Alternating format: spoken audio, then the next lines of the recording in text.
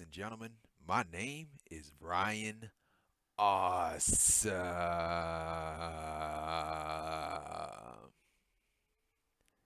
And welcome to the Ryan Awesome Show.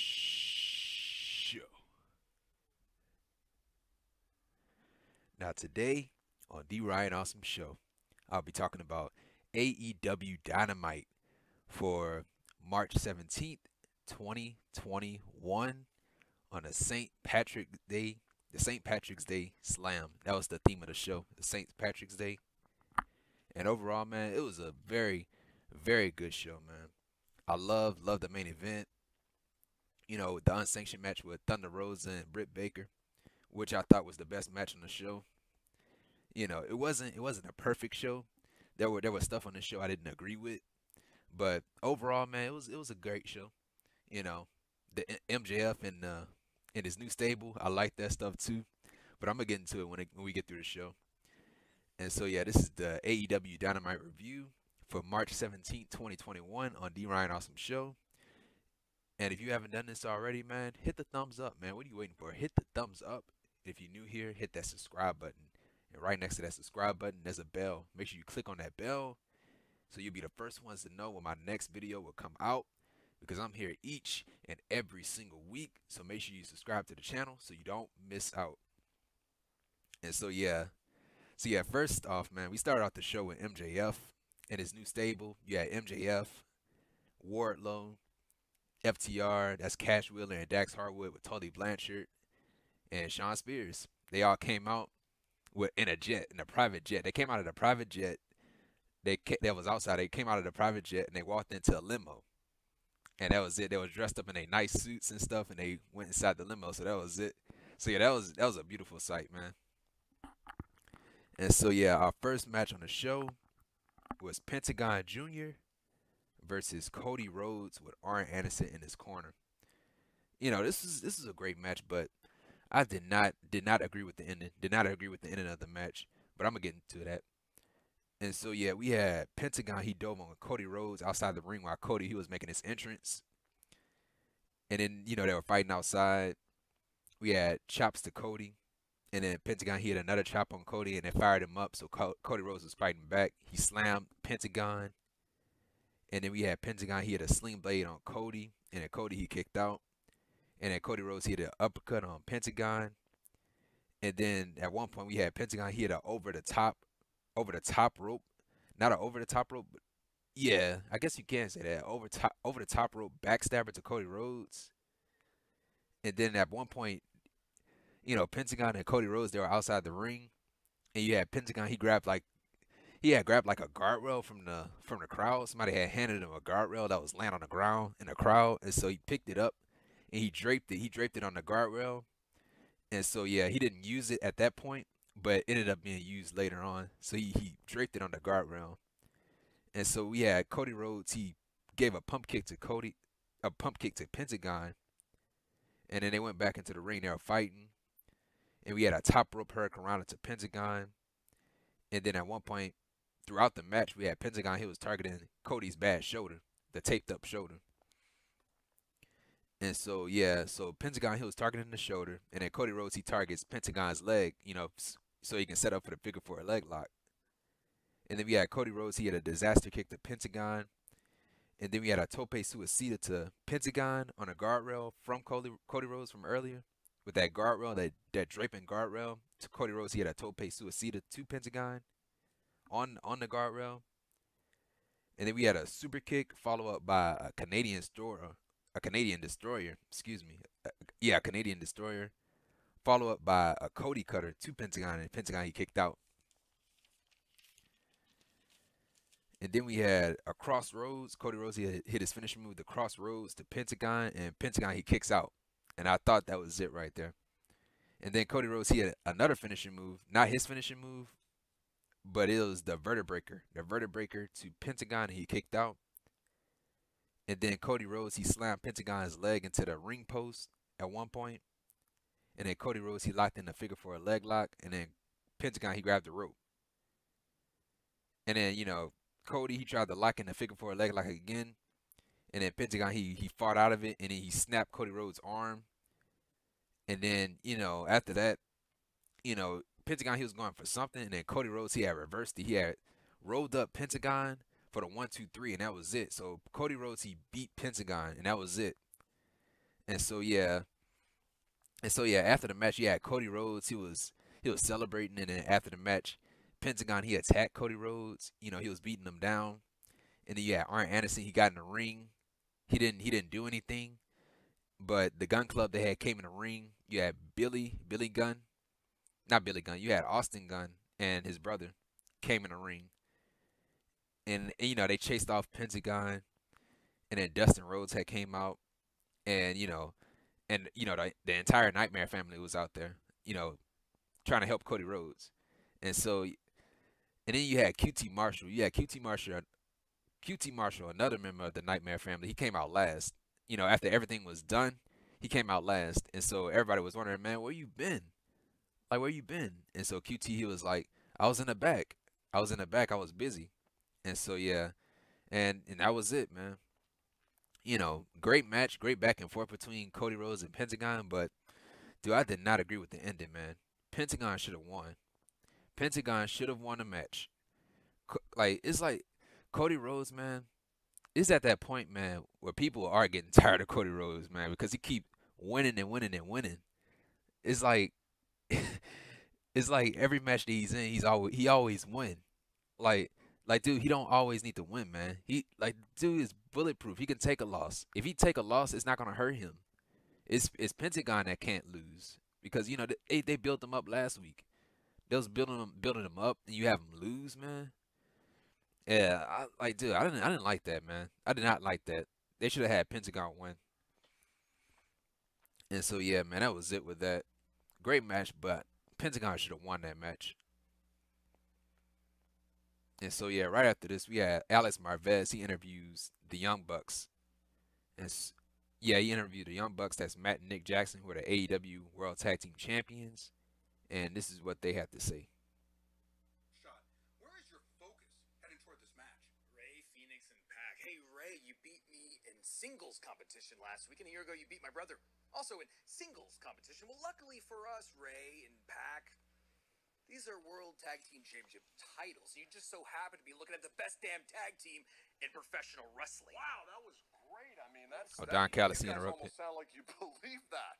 What are you doing here? What am I doing here? What do you want? I, I, I was worried about your dad. You know, I heard he got hurt, and you guys didn't really do anything about it. So I, I brought him a T-shirt. I hope it makes him feel better. He can oh, wear that in the hospital. Oh. Listen, look, at your eye. Oh, the eye. Right, okay, yeah, look, look, look, look, you're faking. Okay, I was faking. They never actually um, kicked me. Yeah, of course. But you know what? I wanted you to kick me. I wanted you to, even though it would have hurt, it would put me in the hospital just like your dad. I mean, I I wanted you to kick me because I wanted to see a little of that Young Bucks team, that Nick and Matt that I saw in Japan that would just destroy the competition, the once in the millennium tag team. And, you know, you guys kind of founded this place. It's all elite wrestling. And been here for a while, and there's really nothing elite about you guys anymore. I mean, killing the business is is killing it, right? But you guys have killed your careers. I mean, you're letting everyone else take credit for everything around here. Kenny Omega doesn't even yeah, yeah, recognize Kenny Omega. Yeah, yeah, the guy you changed our best friend. Uh, what are you doing here anyway, right, Uncle Creepy? Right, what are right, you doing here? What do you want? Uncle Creepy. I did change Kenny. Kenny's changed. You know how he's changed? He's a god of pro wrestling. He was here and now he's here, and you guys are down in the basement somewhere. Kenny doesn't recognize you because you're not elite anymore. You're just another tag team with fancy tights living off your name. So hmm. I want you to ask you one question before you guys get hot at me.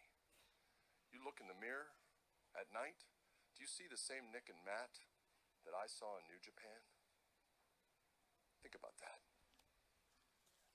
And that was it, man. That was it from the Bucks and Don Callis. You know. And so yeah, right after this, we had a match. And it was a squash match.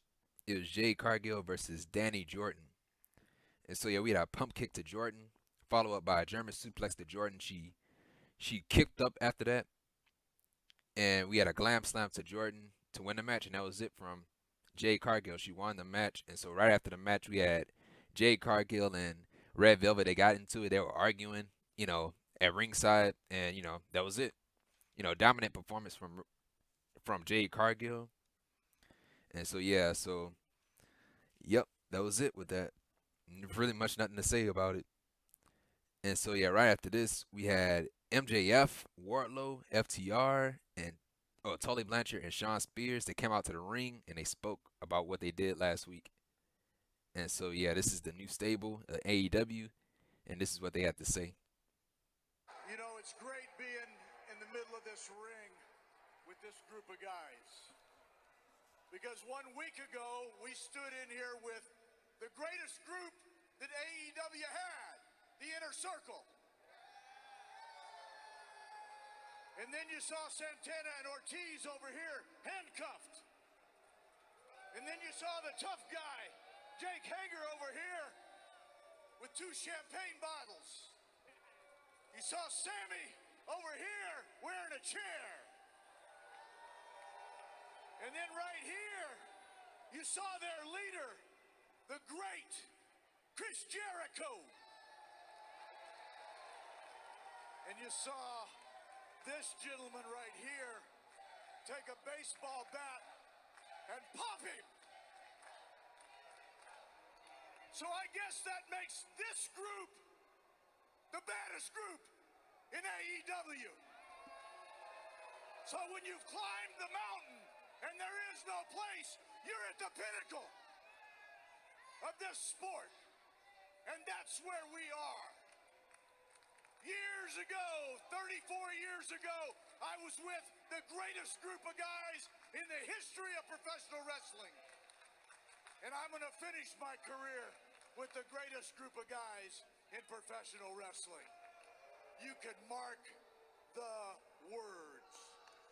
And so that yeah, that's what Tully Blanchard had to say. And so right after this, we had MJF. He grabbed the microphone, and this is what MJF had to say about the group, his new, you know, his new group. Blanchard was absolutely. Oh. Tully Blanchard was absolutely right. Shocking, I know. He's only the greatest mind in the history of professional wrestling. When he called us the pinnacle, The pinnacle. because that is exactly what we are. Ladies and gentlemen, look at this lineup. You might not like it, but you gotta look at it. The War Dog, Wardlow. 278 pounds of sheer force and dominance. The best big man in professional wrestling today, Mr. Mayhem himself. And the best insurance policy professional wrestling has to offer. Double S, Shawn Spears, the chairman. A wrestler's wrestler, a veteran's veteran, a man who has been held down for far too long, but not anymore. No, no, no, not anymore. See, Shawn Spears has always been a top guy, and he's gonna prove it now, week in and week out. And if you got a problem with that, take it up to him. You're gonna eat your words, and then you're gonna eat a chair shot. Oh man. And last but most certainly not least, Cash Money, Dax the Axe, FTR. FTR. The only Grand Slam World Tag Team Champions in the history of professional wrestling. That's right. That's right. The greatest tag team on God's green earth. And Yes. they look damn good doing it, baby. Yeah.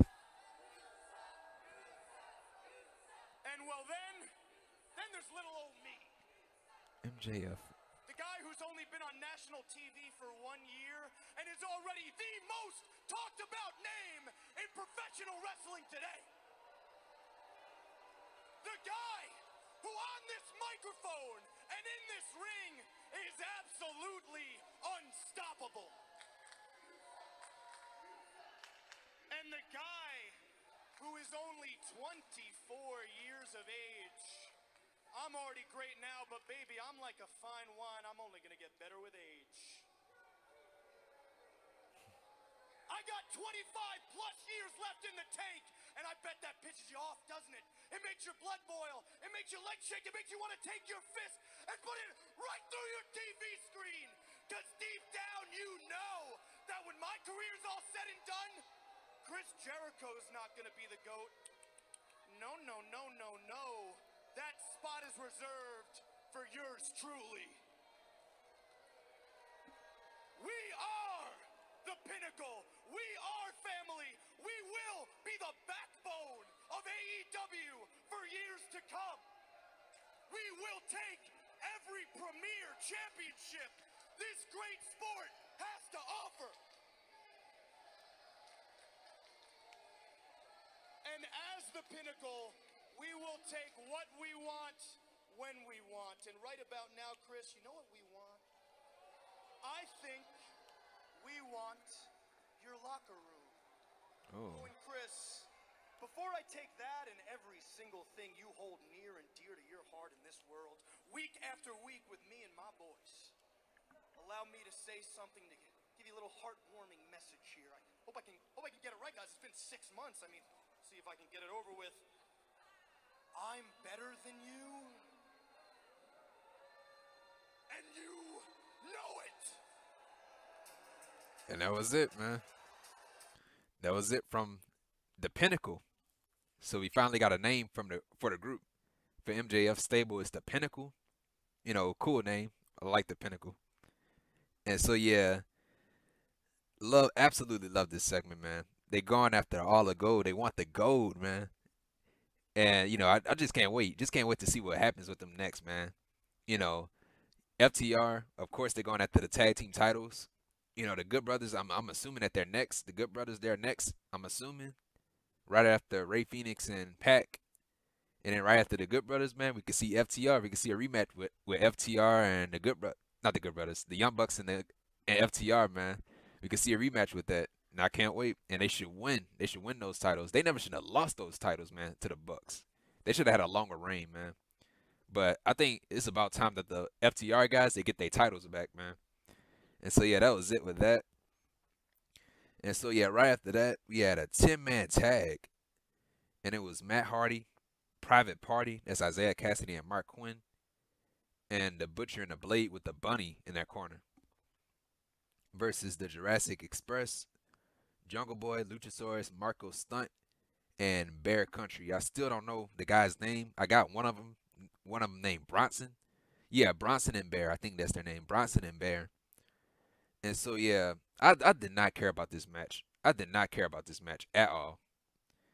And so yeah, at one point we had Bear Country. They threw Marko Stunt over the top rope onto the heels.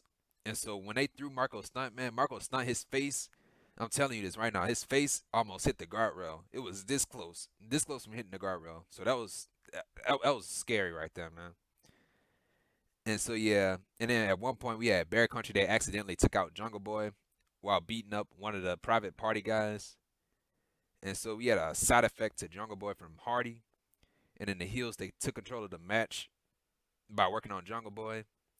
And then we had a hot tag to Luchasaurus. He took out everybody. You know, he was throwing around Private Party. And he had a choke slam to Kassidy. And he followed that up with a standing moonsault on Kassidy. And so, yeah, throughout the match, you had Jurassic Express and Bear Country they're arguing with each other. You know, because they, they they do they do have tension, they do have heat because of the Bear Country. They eliminated Luchasaurus in the in that casino, not the casino, that tag team battle royale at Revolution. So that's where the tension rose. And so yeah, they were also arguing about somebody making a tag. You know, I think one of the Bear Country guys had blind tag Marko Stunt or something like that. And so Luchasaurus, I guess, thought that he got tagged, but one of the Bear Country guys had ended up tagging himself in. So that's what they were arguing about.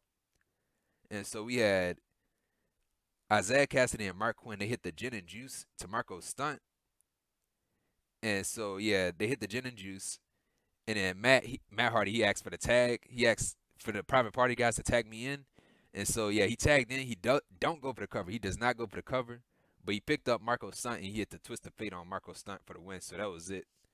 So Matt Hardy, Marq Quen, Isiah Kassidy, Butcher and the Blade. They won the match, and that was it. Really, really did not care about the match because I, like, I'm not a fan. I am not a fan of the 10 man tags and the 12 person tags. I'm just, I'm just not, dude.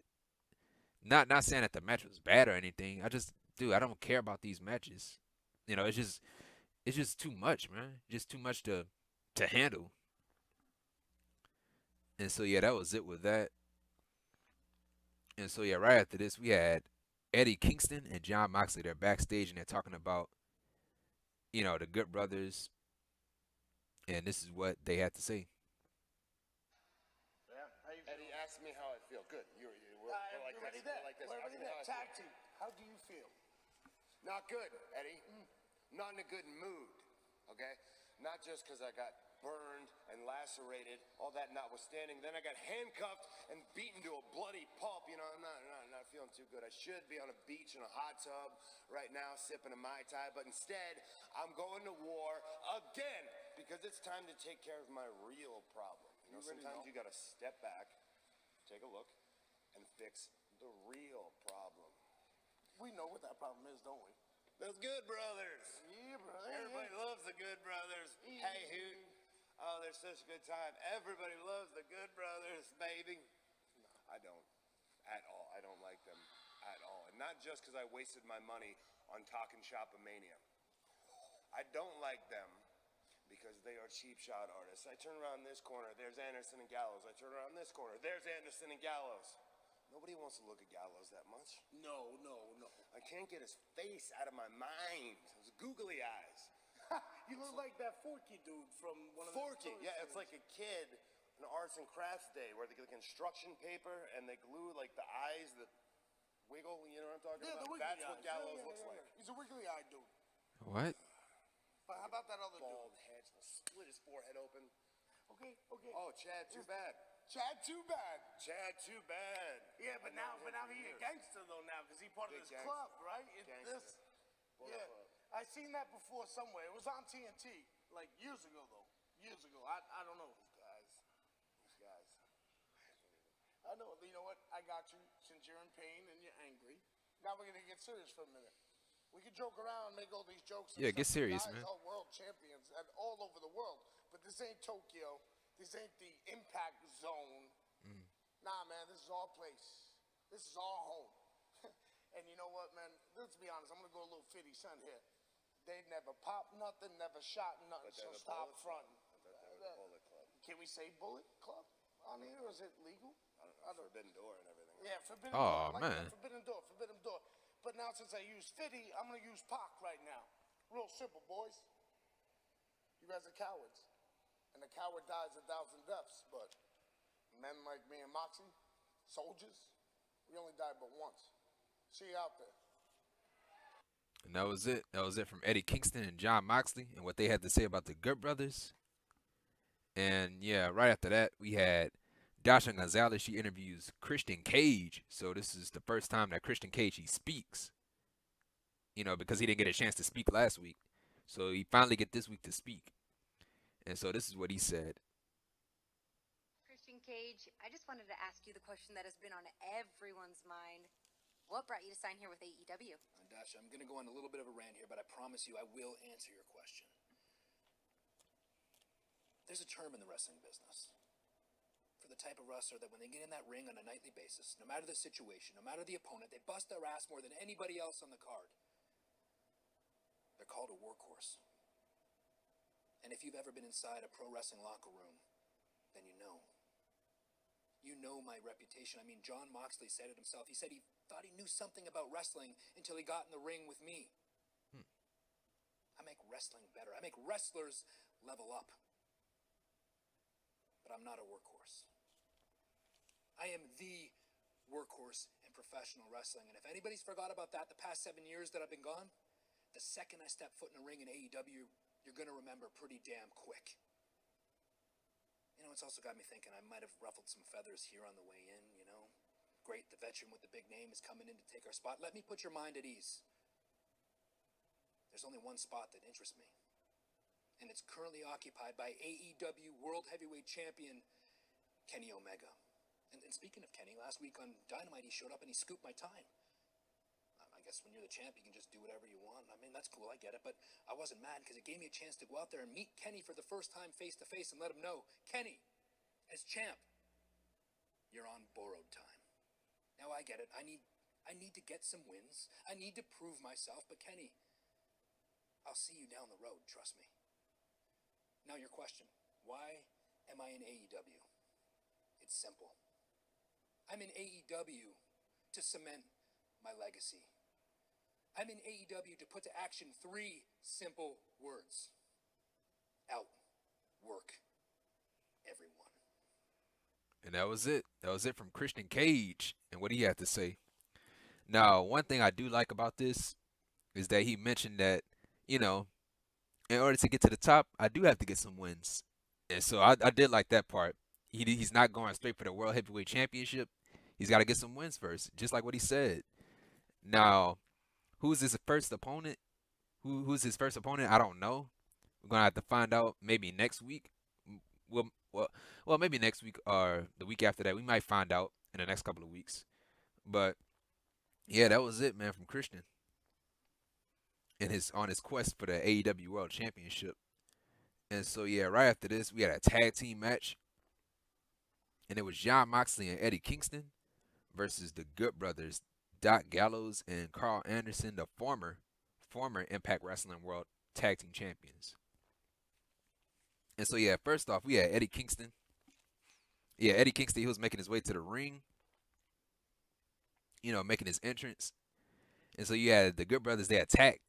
They beat up Eddie Kingston from behind. And so yeah, we had Moxley, he came out, he was running out. He you know, he had his shoulder taped up and everything, you know, selling the effects of the death match. And so he was going he was attacking the Good Brothers and so they were fighting outside the ring. And then we had the Good Brothers, they hit the magic killer on Jon Moxley outside of the ring on the floor. And then, you know, the Good Brothers, they they brought Eddie Eddie Kingston back into the ring. And so the match the rail the bell had rung and the match had started. And so yeah, Jon Moxley, he was outside of the ring the entire time. Late he was laid out. They laid him out. And so it was basically a handicap match. And so yeah, the Good Brothers they're working on Kingston. And then, you know, Kingston he was trying to fight back, but it's not working. And, you know, Kingston he finally, you know, got some offense. He had a diving shoulder tackle to Anderson. And then he had a exploder suplex, an exploder suplex to Anderson. And then we had a hot tag to Moxley. He hit clotheslines and a German suplex to Anderson. And then he had a shotgun drop kick to Anderson. And then Moxley, he gave Anderson a power driver. And then he went for the cover, and Gallows, he broke up the pin. And then we had a Tope Suicida the Gallows from Moxley. And then Karl Anderson, he gave Moxley a spine buster. And then we had the Good Brothers, they went for their their signature tag team move, the Boot of Doom to Jon Moxley. And then you know, Eddie Kingston. Yeah, Eddie Kingston, he had, you know, went after the Good Brothers, and then the Good Brothers had took him out. And then we had a Magic Killer attempt. Yeah, so the Good Brothers, they tried to go for their Magic Killer. And then Eddie Kingston, he had broke it up again, so he went right back at the Good Brothers. And then the Good Brothers had took him out again. And then we had Jon Moxley, he rolled up Karl Anderson for the one, two, three, and that was it. So Eddie Kingston and Jon Moxley, they won a match. And so right after the match, we had Jon Moxley. He was celebrating, and he got attacked by the Good Brothers. And so yeah, they, they were beating up Jon Moxley. And then we had Kenny Omega. His music played, and so yeah, his music played, and he was dancing to the ring. He was dancing to the ring with Don Callis by his side. And so yeah, Omega he had a chair in his hand. He had a chair in his hand. And he was dancing to the ring. He got into the ring, set the chair. You know, he put the chair down, and he sat in the chair. You know, he was he was about to do something. So yeah, he sat in the chair, and so you had Eddie Kingston from behind. He just knocks he knocks Kenny Omega off the chair, and so the Good Brothers they attack Eddie Kingston and they gave him a Magic Killer. And so yeah, we had Omega and the Good Brothers. They wrapped, you know, Eddie Kingston's leg with the chair. And so one of the good, good brothers, they had jumped off the rope and then had stomped on it. They had stomped on his leg, stomped on the chair. So that, in, quote unquote, injured his leg. And so yeah, and then you know, and then one of them tried to stomp on Moxley's neck. So the, yeah, they had the chair wrapped around Moxley's neck, and so one of them about to jump off the, the rope and stomp on the chair on Moxley's neck. and so the the Bucks that came out, the Young Bucks that came out to stop the Good Brothers and Kenny Omega. And so Omega and the Good Brothers and Callis, they try to give the Bucks the too sweet. Like, like, come on, man, it's too sweet me, too sweet me. And so the Young Bucks, they said, no, no, we're not gonna too sweet you. And they just left. They left the ring, and the Good Brothers and Omega and Callis, they're not happy about it. And so yeah, they were arguing with the Bucks. And so you had Moxley, you know, he got up, he got up, grabbed the chair, and started swinging the chair around. So the Good Brothers and Omega, they got out the ring, and that was it. That was it. You know, wasn't wasn't much of a tag team match because you know they took him out earlier in the you know before the match even started, and so yeah, man, that that was it with that. Oh yeah, and the Bucks, man. I, I said this. I said this weeks ago that the Good Brothers they will be going after the Bucks. They, they, eh, we might have a title match between the Bucks and the Good Brothers, and you know, I don't I don't think the Good Brothers are winning the titles. I don't think they're winning it. Those titles going to FTR. So, so I knew I knew they were the next challenges because you know, they they had beef in the past and they never picked it up. They never picked you know, they haven't went back to the the beef that they had, but now now it's gonna you know the feud is starting again, and so yeah, that was it with that, and so yeah, right after this we had Tony Schiavone. He interviewed Sting and Darby Allin, and so this is what happened. I won this TNT championship November 7th, 2020. You know how much times I defended it since then?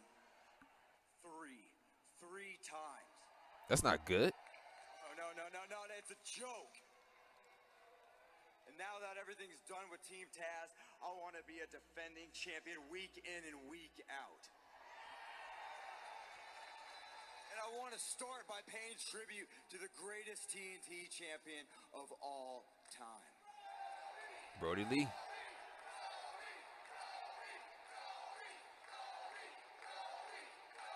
Dark Order, if you want this back, step right up. It's an open challenge. Any you one of to you. be kidding me. You gotta be kidding me. Uh oh, and that was Lance Archer. He interrupted, and so this is why. Week after week. How many times are you gonna interview Sting, Schiavone? Yeah. Oh, I'm sorry. Did I take up your precious time? Actually, you know what? I don't give a rat's ass that I took up your time or anybody's time because it should be my time all the time. And Darby, oh, Darby, you're the TNT champion. The internet might think you're terrific, but as far as I'm concerned, you're the biggest indie-rific joke this business has ever seen. Indie-rific. Oh my oh, God. And you like coffins so much, well, I'm about to put your ass in one. Oh my God. Oh. Yes. No, no, no, no, no. You know, you're gonna freeze your ass off, man. You better go back there and put your bun back on. You know, Bun? your hot dog bun? Because you ain't nothing but a weenie boy. A weenie boy. Oh my God. Sting, you know me. You know better. So you're gonna get what's coming to you. The winds of a change are coming. Tony Khan better realize you don't play with fire. This is the biggest, baddest son of a bitch. And he will twist it up and he will shove it up your rear ends. So be careful, boys. It's changing.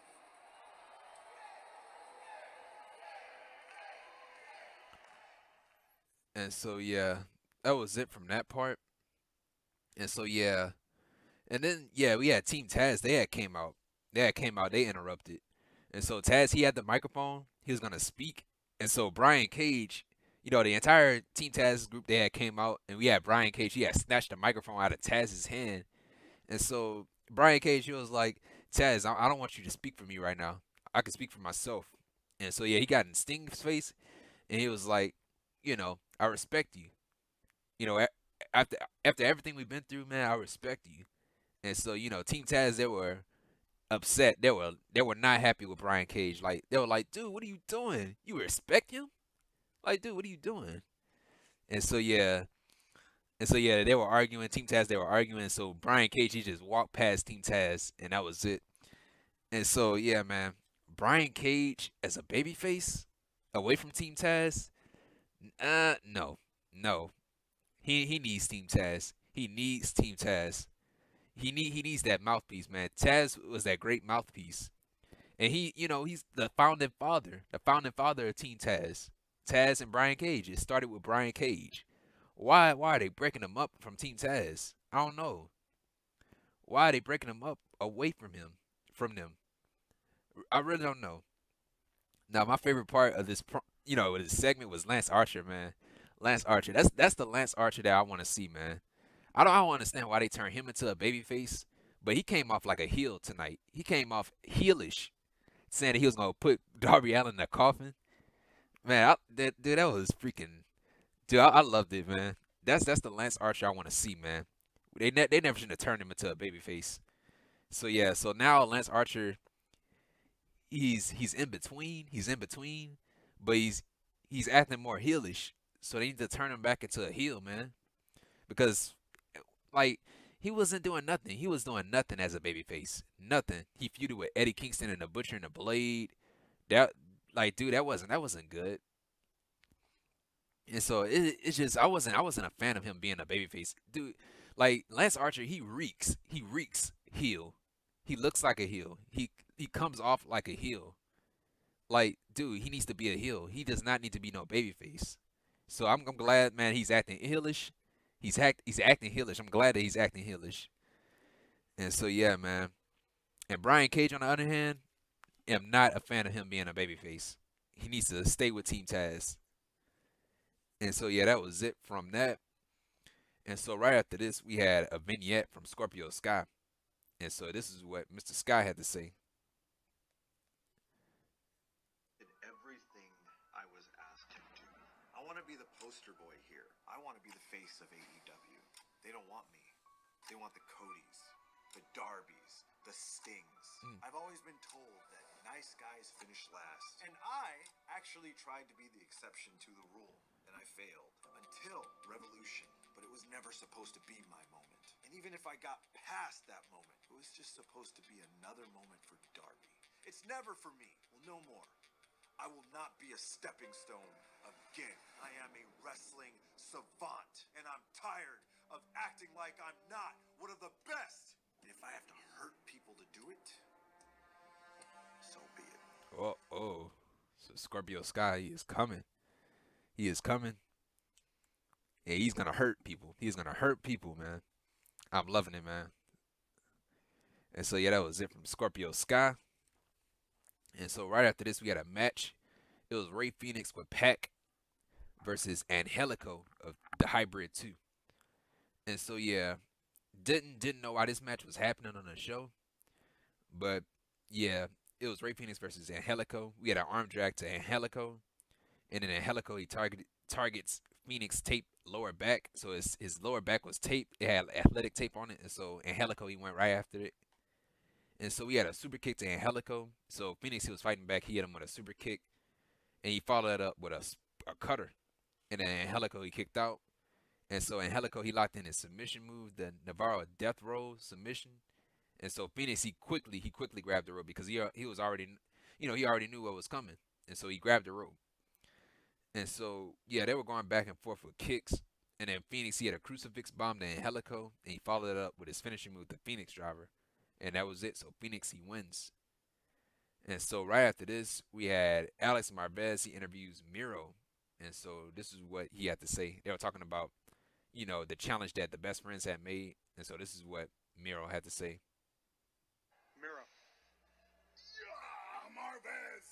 While he was working interrupt your workout, but Chuck Taylor and Orange Cassidy have challenged Kip Sabian and you to a rematch. Why? What, what do you mean, why? Yeah, why, man? why? He's really trying to sweeten up their deal by offering their lifetime butlership if they lose the match. But I'm not interested, Charles. The opportunity has moved on. I have moved on. Good. I got better things to do now with my. I, I haven't. I can't move on from this, Miro. They ruined my wedding. Then you go fight them. You were supposed to care. Or you blaming me for that? I'm not blaming you for that. But let's not forget the fact that whether you meant to or not, You pushed him into my wife. She's hurt. Well, now I'm really hurt myself. Hmm. If you think that tending to your wife is more important than winning a match, let me give you a piece of advice. The worst thing for your career is having your wife at ringside. Coming from you. Remember that. Coming now from you. remember this. When that bell rings, I don't care about you. I don't care about your wife. I don't care about your family drama. I don't care about the opponent. All I care about is the destiny. It's my destiny. It's the achievement that I need to have.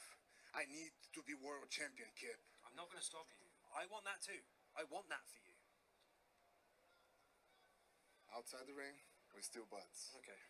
That's good. So, do you two accept on Dynamite? Of course we accept. Oh, so he accepted the match. Accepted the match, and so yeah. Just just get this match over with, man. Just get this feud over with, man. I thought it was over at Revolution, but this match, need, this feud need to be over with, man. I'm like I'm sick and tired of this. You know, the best friends they need to win this match. They need to win this match next week. Have Kip Sabian take the uh, the loss. Have Kip Sabian take the pin, and have Miro just unload on Kip Sabian, and you know breaking them up for good. So this is what I want to see. This is what I want to see. And so yeah, that was it from that. And so yeah, we had Alex Marvez again. He interviewed the Dark Order, and you know, they, he he was talking about the challenge that Darby Allin made earlier about challenging the Dark Order to a TNT Championship match. And so it was any member of the Dark Order. So he was interviewing uh, the members of the Dark Order, and they were wearing our green on St. Patrick's Day. And so they chose Johnny Johnny Silver or John Silver, whatever you want to call him, Johnny Hungee. They chose him, and so it's going to be John Silver versus Darby Allin next week for the TNT Championship, which should be a, a great match. And so yeah, and right after that, man, we had MJF, we had the Pinnacle, we had the Pinnacle. They they took the the nameplate of the inner circle. They went towards the the locker room. They went towards the inner circle's locker room, and they took the inner circle's nameplate off the the door, and they replaced it with their their nameplate, the Pinnacle. And so that was it with that. And so next week's show for Dynamite, it is going to be. They only announced a couple of matches, so it's going to be the Pinnacle representing the Pinnacle. It's going to be FTR, Dax Harwood, and Cash Wheeler, and Shawn Spears with Tully Blanchard in their corner versus the Varsity Blondes. That's Griff Garrison and Brian Pillman Jr. and Dante Martin and of the of Top Flight. And so, yeah, we had the Darby Allin's open challenge to the Dark Order next week, which was John Silver. So yeah, Darby Allin versus John Silver for the TNT Championship, and we have the AEW World Championship Eliminator match. So it's gonna be AEW World Champion Kenny Omega with Don Callis versus Matt Sydal with Mike Sydal. So the AEW World Championship Eliminator match. And so yeah. And then so so so apparently he beat Mike Michael Nakazawa. Matt Sydal did to get a, a opportunity against Omega. And then we had Nyla Rose. We have Nyla Rose with Vickie Guerrero versus Tay Conti, and that's next week. And so yeah, that's next week's show for Dynamite. More matches will be announced. And so yeah, right after that, we had our main event, which was the best match on the show for me. And it was the lights out. It was unsanctioned lights out match, and it was Dr. Britt Baker, DMD, with Rebel in our in our corner, versus Thunder Rosa. And so yeah, they they absolutely killed each other in this match, man. And so yeah, we had Rebel.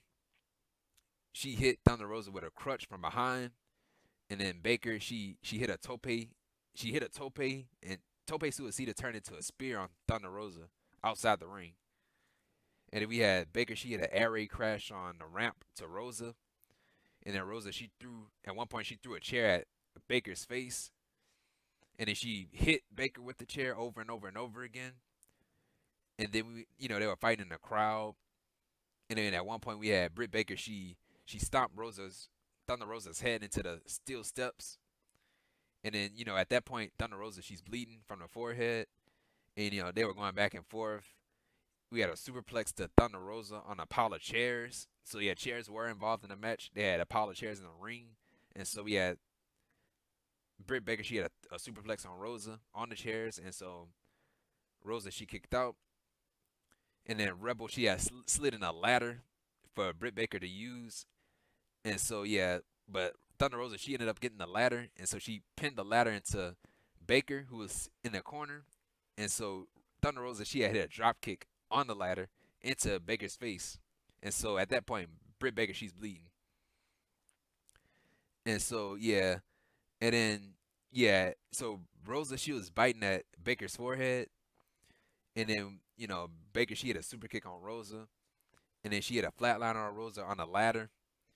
And then we had Rosa, she hit the Death Valley driver on Baker on the ladder from the second rope. And then Baker, she kicked out.